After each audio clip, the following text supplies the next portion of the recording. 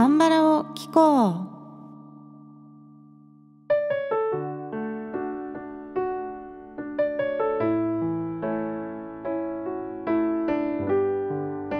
皆さんこんにちは。アンニョンセヨ風花です。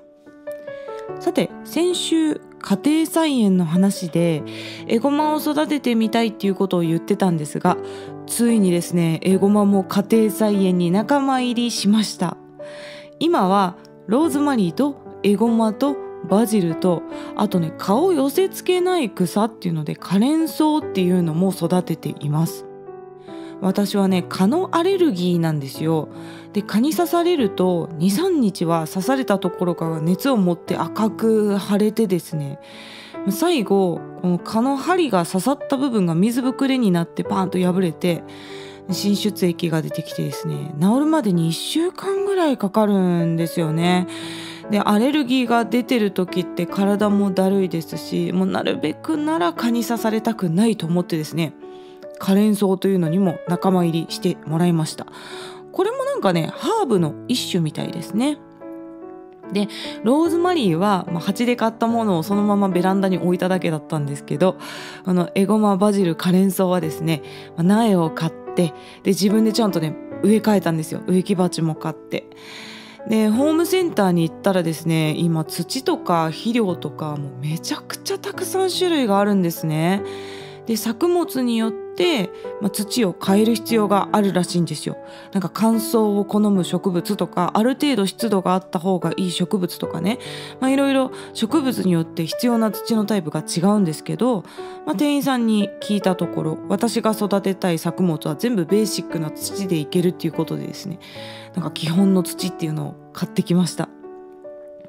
でホームセンターで買ったんでちっちゃい袋のおやつでも14リットルとかあってもまだまだ土が余ってるので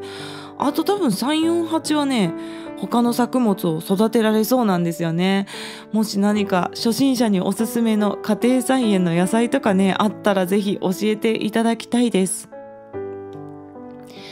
さて今日は心が疲れた時におすすめの曲をテーマにお届けしていきます。日本では5月病という言葉がありますけれども5月ってね新生活の疲れが出る頃なんですよね。新年度の4月に環境が変わり何かと気苦労の多い1ヶ月間を過ごした後にゴールデンウィークの連休それが明けた頃からまあちょっと疲れが出てくると。そして軽い適応障害や抑うつ状態になる現象のことをね日本では5月病と呼びます。まあ、ちょうど連休が明けてから1週間経ったのがねこの放送の日なんで皆さんちょうど疲れが出やすいのが今週あたりかなと思います。というわけで今週は皆さんに癒しを届けるウィークと称しましてトーク会でも歌会でも優しい曲をお届けしていきたいと思います。まず今回はですね心が疲れた時におすすめの曲を2曲紹介していきますね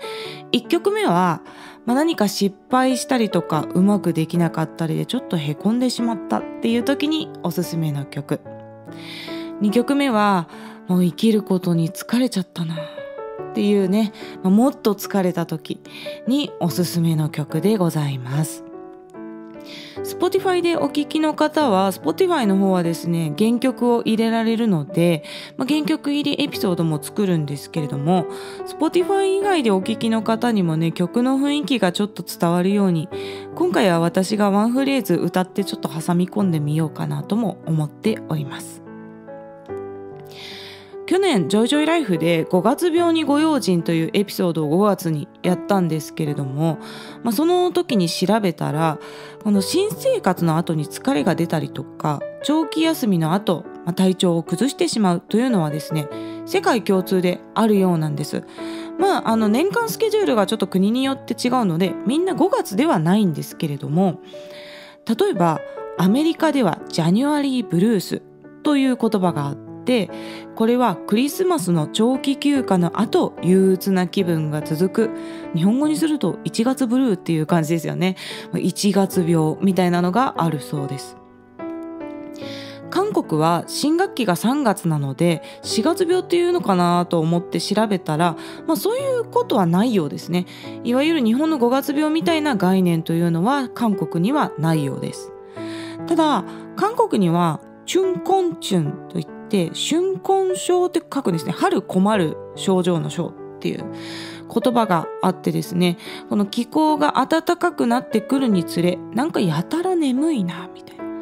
で人によってはちょっとその時食欲がなくなったり消化不良を起こしてしまったり春にやたらと疲労感を感じるこう気だるい症状が出るっていうことを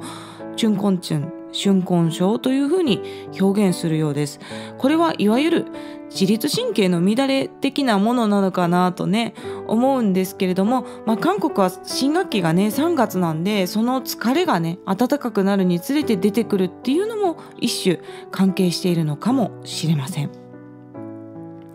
さて今日紹介する曲の1曲目は「スーパースター」という曲です。これ韓国語的に言うと「シュポスト」っていいんですねスーパースターのことね。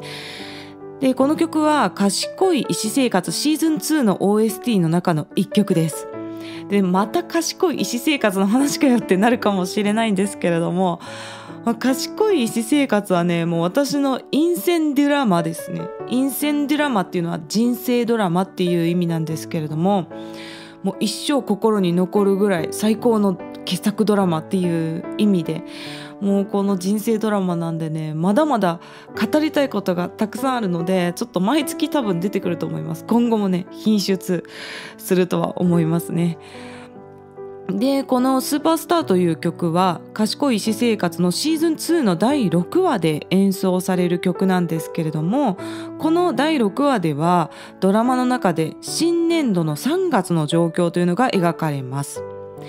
韓国では研修医のことをインターンと呼ぶみたいなんですけれども、まあ、日本でいうと初期研修医ですね、まあ、医師になったばかりのもう若いインターンの先生たちが仕事で失敗をして落ち込んでしまったり、まあ、患者さんの死を宣告するような厳しい場面で泣き崩れてしまったりですとかこう医師になって慣れない毎日に奮闘している姿がたくさん描かれています。まあねこのドラマで出てくる失敗はちょっとさすがにそこまではないだろうっていうぐらい間抜けな失敗もねいっぱい描かれてるんですけれどもやっぱまあその奮闘している姿を見ているとどこかね自分の若い頃と重なってこうジーンとくるんですね。この辺りは今度「ジョイジョイライフ」でも、まあ、私たちの若い頃のやらかしを語るっていうような回をやろうと思ってるのでそちらもぜひ聞いてみてください。そしてドラマの中では今指導医になってもう完璧に見える主人公のククズっていうんですけれども1999年に医学部に入学した同期たち5人っていうのが主人公なんですけれどね、まあ、その人たちはもう今はすごく仕事ができて後輩を引っ張っていく存在なんですけれどもそういう先輩にもやらかしてた若い時代があったんだよという昔話をして、後輩たちを励ます回なんですね。そしてその回にバンド演奏で歌う曲がこの「スーパースター」という曲ですサビの部分の歌詞をね今日はちょっと紹介していきます괜찮아잘될거야大丈夫うまくいくよ너에겐눈부신미래가 있어君には眩しい未来があるんだ괜찮아잘될거야大丈夫うまくいくよ 우린널믿어의심지않아僕たちは君を信じて疑わないんだというねサビですまっすぐな表現がとってもいいですよねメロディーもキャッチーで覚えやすいのでぜひ Spotify の方はね原曲を聴いてみてくださいで Spotify 以外の方は私がちょっと歌ってみるので聴いてみてください괜찮아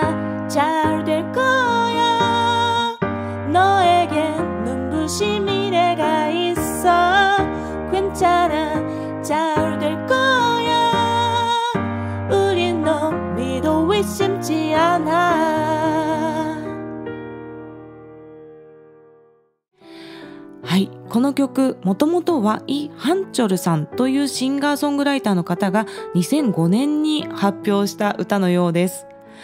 私はこの曲はね当時知らなくて賢い私生活で初めて聴きました この曲に研修医の頃に出会ってたらきっとヘビロテソングだっただろうなと思いますね。もうめっちゃ毎日聴いたと思います。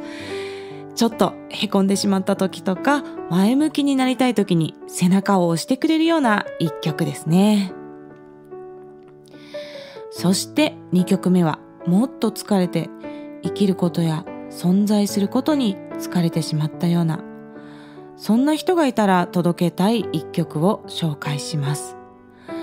この曲もまたきっかけは賢い医師生活なんですけれども賢い私生活でレジデントのチャン・ギョール先生を演じていた女優さんのシン・ヒョンビンさんという方がインタビューの中で最近心に残った曲友達に教えてあげたい曲としてこの曲を挙げていらっしゃいました。で聞いてみたところですね歌詞もメロディーも歌唱も本当に素晴らしくてもう私聞きながら泣けてきたんですね。でそれでまあこの曲をぜひ番組で紹介したいなと思った曲です。チョン・ミラさんの「子」という曲です。でチョン・ミラさんっていうのはフォークシンガーなんですかね。あのあまり日本では知られていないアーティストかもしれないんですけれども私も今回初めて聞きました。で曲名は「子」というんですけれどもこれは日本語で「花」という意味です。あの歌い方がねポツポツとこう一言ずつ心を込めて静かに歌われるんですね。で最初チョンミラさんのこの曲を聴いた時私は手島葵さんを思い出しました。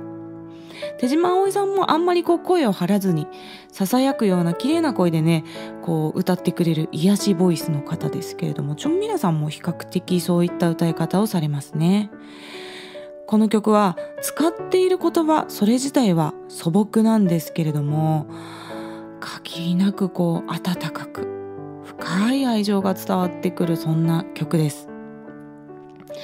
あなたがあなたでいてくれるから私にとってその存在が必要なんだよということを語りかけるような内容になっております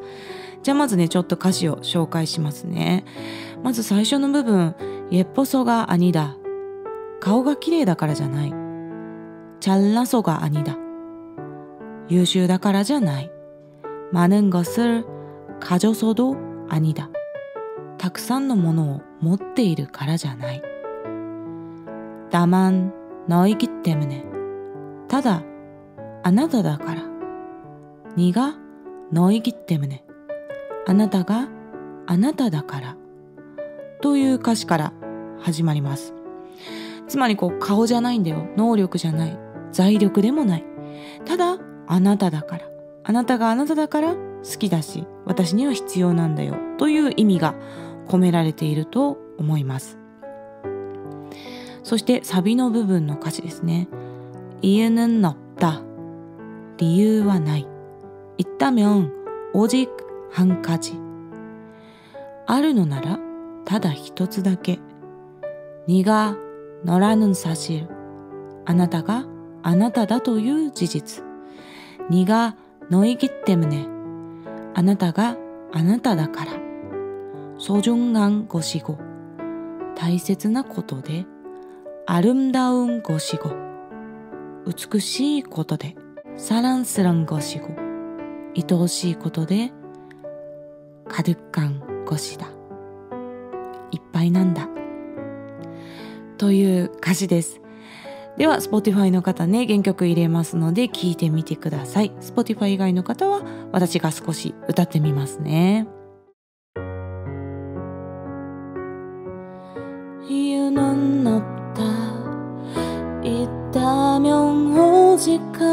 한가지네가 너라는 사실 네가 너이기 때문에 소중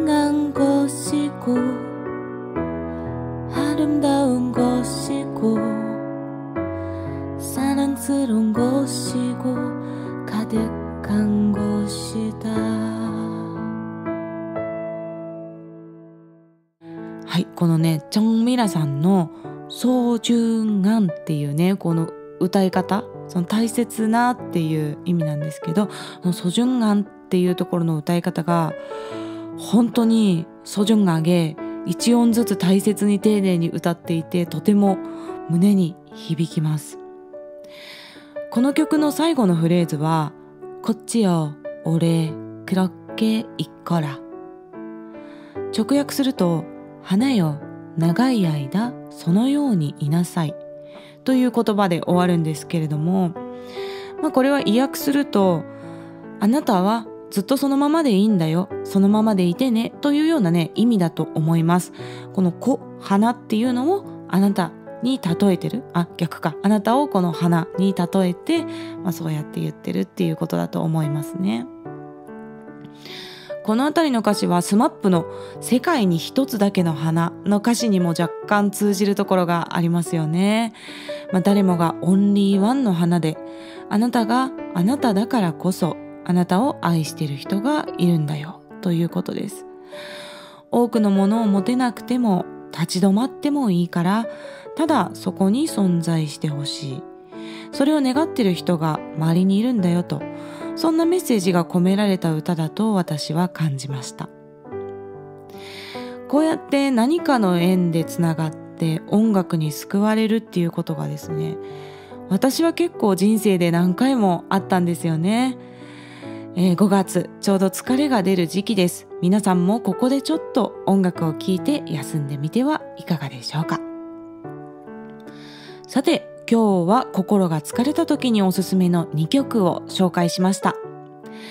概要欄の質問箱からメッセージや質問、リクエストなどぜひ気軽に送ってください。